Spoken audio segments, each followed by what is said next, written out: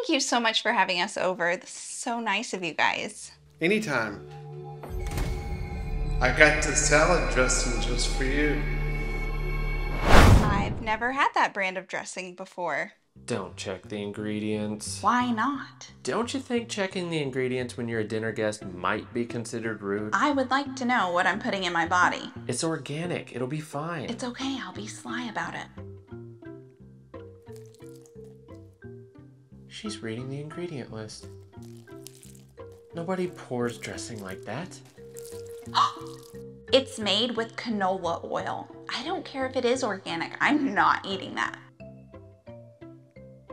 It's on my lips. It's on my lips. We're never getting invited over again.